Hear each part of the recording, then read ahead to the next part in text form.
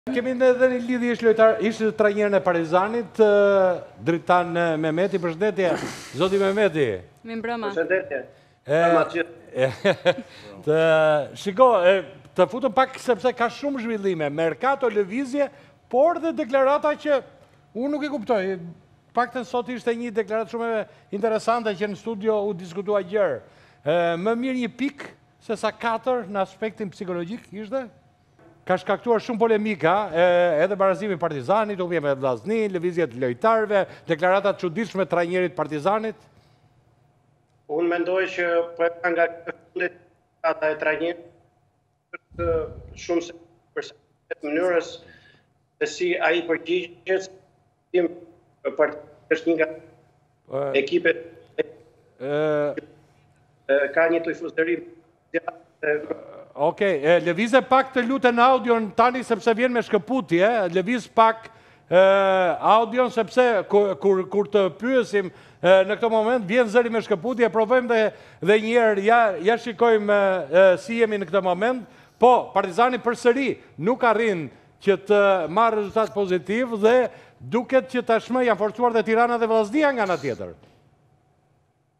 Patjetër që po, mendoj që kanë qenë gjatë gjithë kampionatit Tirana ka qenë rivali kryesor, por dhe Vllaznia unë e theksova dhe më përpara që Vllaznia është një skuadër që do të rikthejë deri në fund për po. kampion. Po.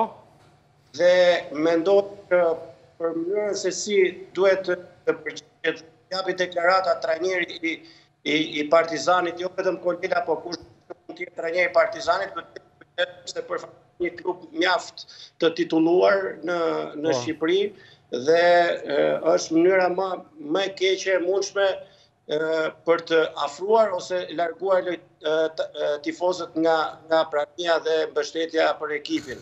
Sepse tifozët e Partizanit janë shumë të ndjeshëm, jo vetëm që kërkojnë cilësinë e lojës fitore, por kërkojnë edhe seriozitetin, sepse kjo fanellë e meriton.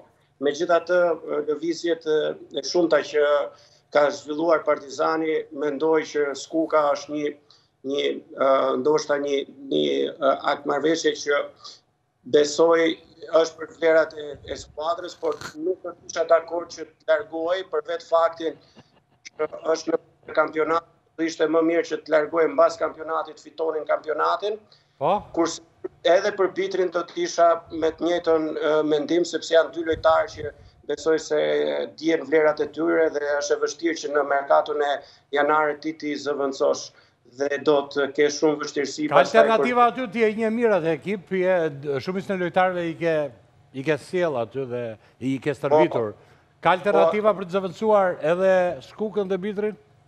Mendoj që është shumë e vështirë, në të njëtën situatë isha një vit më përpara, ku evidentova Skukën, Adroin, por ngulmova shumë që të rimerrja Bitrin, edhe pse kisha 3-4 qendërmbrojtësa, por ishte shumë e vështirë.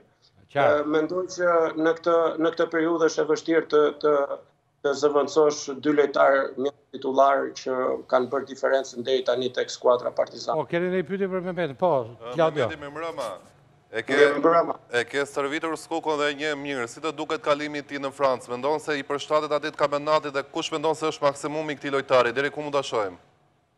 Atëherë, duke pasur parasysh, kam parë cilësitë e tij komponentët teknikë, por Skuka është një djalë mjaft i talentuar për sa i përket interpretimit dhe mënyrës se si e interpreton lojën sulmuese. Ka nevojë shumë për orientimin uh, taktik në fazën difensive dhe duhet të rritet fizikisht. Mendoj që është një hap shumë i madh dhe besoj se do ta ketë vështirë për sa i përket për të gjetur ritmin. I vetmi problem ndoshta mund të jetë ky për Skukën hmm. që të përshtatet me ritmin e lartë që ndodhet në ligën e dytë të të, të Francës. Por ka cilësi të jashtëzakonshme dhe duke pasur parasysh stafet që edhe niveli i futbollit francez, besoj se do ta ndihmojnë këtë djalë dhe të bëjë atë hapin e madh, por ai duhet të tregohet shumë profesionist sepse nuk po luan më në Shqipëri, por një ligë tjetër që ka ritëm mjaft të lartë. Si është si karakter? Dëgjon, mëson, ka dëshirë të ngjitet, ti e ke stërvitur sepse edhe pak intervista kemi pasur me atë. Tani u fut në elitë dhe dhe përnjëherë iku. Po, po Altin shumë e drejtë, është djalë shumë pozitiv me karakter.